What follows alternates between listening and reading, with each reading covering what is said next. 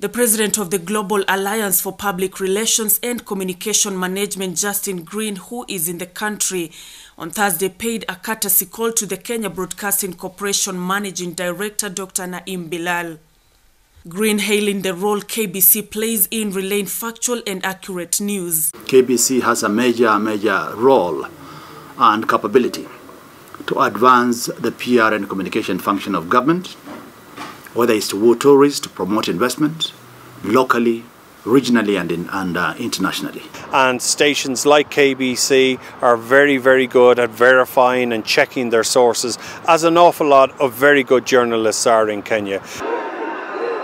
And as the country enters the electioneering period, Green notes that Kenya will be presented with a challenge of ensuring communication and public relations play an integral role in ensuring a free and fair election.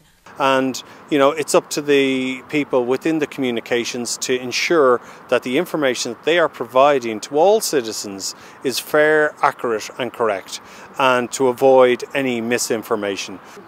Communications people will have a role to step in the gap and provide adequate information.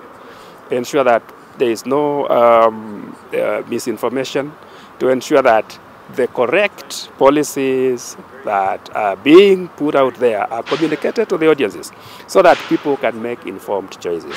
This coming at a time when the globe is experiencing proliferation in number of social media users, hence the need to enhance fact-checking before consuming content.